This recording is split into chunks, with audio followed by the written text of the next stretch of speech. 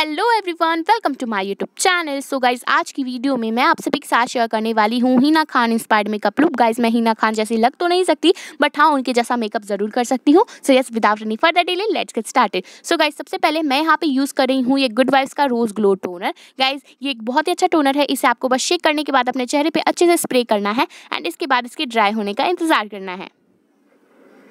इसके बाद मैं यहाँ पे ले रही हूँ ये लैकमी पीच मिल्क का मॉइस्चराइज़र। ये मेरा फेवरेट मॉइस्चराइज़र है बिकॉज़ ये आप आपके स्किन को बहुत अच्छे से मॉइस्चराइज करता है एंड ये सभी स्किन टाइप्स के लिए सूटेबल है। तो आप चाहे किसी भी स्किन टाइप का हो, ये आप पे अच्छे से जाएगा। इसके बाद मैं यहाँ पे ले रही हूँ ये लैक्मी नाइन टू फाइव का C C cream in the shade bronze and guys ये वाला जो शेड है ना, वो मेरे स्किन टोन से लगभग लगभग मैच करता है। मतलब हल्का सा ये डार्क है बट इट्स ओके एंड ये मेरे स्किन टोन से एकदम मैच करता है। एंड इसे मैं अपने चेहरे पर अच्छे से डॉटर फॉर्म में अप्लाई करने के बाद अपने इस ब्यूटी ब्लेंडर की हेल्प से इसे अच्छे से ब्लेंड कर रही हूँ, जैसा कि आप सभी देख सकते हो। सीसी क्रीम और बीबी क्रीम में बहुत सारे लोगों को कन्फ्यूज़न होता है कि क्या डिफरेंस है। सीसी क्रीम आप नॉर्मल डेज़ में अप्लाई कर सकते हो एंड बीबी क्रीम भी आप नॉर्मल डेज़ में अप्लाई कर सकते हो बट सीसी क्रीम का बीबी क्रीम से ज़्यादा कवरेज होता है। इसके बाद मैं यहाँ पे ले रही हूँ, ये सिस ब्यूटी का लिक्विड कंसीलर ये है मेरा जो शेड है इसमें वो है लाइट मोइन एंड गाइज़ ये जो कंसीलर का शेड है ना uh, उसे मैं यूज़ करती हूँ एज अ हाईलाइटिंग कंसीलर और as a eye shadow base because अगर इसके ऊपर हम लोग अपना आई शेडो अप्लाई करेंगे ना तो बहुत उभर के आएगा। इसी कारण से मैं इसे आई शेडो बेस भी यहाँ पे यूज़ कर रही हूँ. एंड इसके बाद ब्यूटी ब्लेंडर की हेल्प से अच्छे से ब्लेंड कर रही हूँ. इसके बाद मैं यहाँ पे ले रही हूँ ये ब्लू हेवन का गेट ब्राइट कॉम्पैक्ट पाउडर ये वाला जो कॉम्पैक्ट पाउडर है ना इसमें ना आपको कवरेज भी मिलता है. इसका मतलब अगर आपने कोई लाइट कवरेज वाला फाउंडेशन भी अप्लाई किया हुआ है तो अगर उसके ऊपर आप इसे अप्लाई करोगे तो आपको वो हाई कवरेज या मीडियम कवरेज जैसा लुक दे देगा। तो यस आप इसे ट्राई कर सकते हो, और ये सेट भी बहुत अच्छे से करता है बेस को। इसके बाद मैं यहाँ पे ले रही हूँ स्पूली स्पूली की हेल्प से मैं अपने आईब्रोज को कोम कर रही हूँ।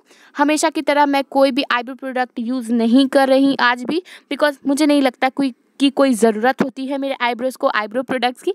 इसके बाद मैं यहाँ पे ले रही हूँ ये हिलाडी डोडा का आई शेडो पैलेट इस वाले आई शेडो पैलेट में आपको बहुत ही ब्यूटीफुल न्यूट्रल शेड्स मिलेंगे। इसमें से मैं इस क्रीम शेड को अपने क्रीज पर सीधे अप्लाई करूँगी। क्रीम नहीं सॉरी ब्राउन शेड को अपने क्रीज पर अप्लाई कर रही हूँ। हमें बहुत हल्के हाथों से ही इसे अप्लाई करना है बिकॉज़ हिना खान का जो मेकअप है उसमें ये बहुत ज़्यादा लाइट लग रहा था। मतलब उनके आइज़ पर तो लग ही नहीं रहा था कुछ अप्लाई किया हुआ है लेकिन था थोड़ा सा मैंने देखा है। एंड इसके बाद मैं शिमर शेड को बस इनर कॉर्नर से थोड़ा आगे तक आम, लिड के इनर कॉर्नर को थोड़ा सा आप देख लो जहाँ पे मैं अप्लाई कर रही हूँ। उसे अप्लाई करने के बाद सीधे अपने पूरे आईलिट पर इसे प्लेस कर दे रही हूँ, मुझे बोलने नहीं, में नहीं हो रहा। इसके बाद मैं यहाँ पे ले रही हूँ ये Maybelline the colossal eyeliner guys ये बहुत ही अच्छा आईलाइनर है, ये बहुत जल्दी ड्राई हो जाता है, ये एकदम जेट ब्लैक इन कलर है एंड इसमें शायद सिर्फ़ ब्लैक ही शेड आता है एक। एंड ये बहुत ही अच्छा आईलाइनर है, मुझे बहुत अच्छा लगता है, इसका एप्लीकेटर भी मुझे बहुत ज़्यादा पसंद है। इसके बाद मैं यहाँ पे ले रही हूँ, ये Maybelline the colossal kajal and इसे मैं अपने लोअर लैश लाइन पर अप्लाई कर रही हूँ। हीना खान ने भी काजल अप्लाई किया था बट वो बहुत ज़्यादा लाइट था, इसलिए मैंने भी बहुत लाइट काजल ही अप्लाई किया है। गाइज़ इसके बाद मैं यहाँ पे ले रही हूँ Maybelline the hyper curled mascara and guys ये मेरा फेवरेट मस्कैरा है बट हाँ ये आपके आई को थोड़ा सा क्लम्पी बना देता है बट इट्स ओके बिकॉज़ ये वाटर प्रूफ है तो इतना सारे वाटर प्रूफ में तो मतलब मस्करे में होता है एंड ये आपके लैशेज को बहुत अच्छे से कर्ल करता है एंड बहुत अच्छी वॉल्यूम भी दे देता है। इसके बाद मैं यहाँ पे यूज़ कर रही हूँ ये ब्लू हेवन का शिमर मैट ब्लश मेरा शेड मुझे याद नहीं है सॉरी एंड इसे मैं अपने चीक्स अप्लाई कर रही हूँ, हीना खान ने बहुत ही मिनिमल मेकअप किया हुआ था। ऐसा लगता है बट ऐसा नहीं होता।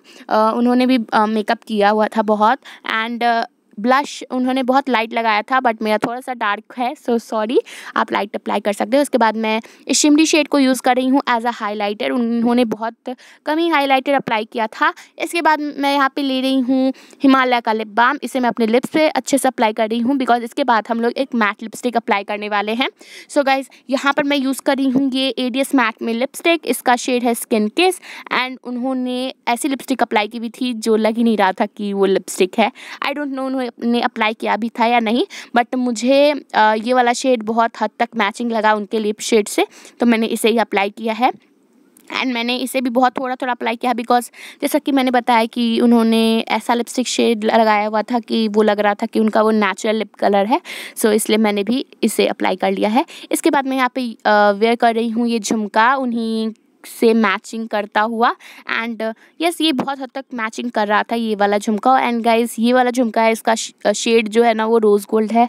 एंड मुझे ये झुमका बहुत ज़्यादा पसंद है। एंड अब हम लोग करेंगे जादू। यस yes, मैं हो गई हूँ फुल तैयार उन्होंने। Uh, कुछ इसी तरीके का हेयर स्टाइल रखा हुआ था। आई नो मेरे बाल स्ट्रेट नहीं है सो सॉरी एंड नीचे से कर्ल्स बहुत uh, नहीं है। मतलब उन्होंने uh, हीट दे के ये सब किया है बट मेरे पास नहीं था अभी प्रेजेंट टाइम में तो इसलिए मैंने वैसा कुछ नहीं किया है एंड मैंने आई शेडो से ही इस टाइप की बिंदी अप्लाई कर ली है। सो so, यही था आज का video I hope you all like this video if you like this video then please give a big thumbs up to this video if you like me and my content then please subscribe to my YouTube channel and अगर आप मुझे कुछ भी search करना चाहते हैं then comment below stay tune stay safe and bye bye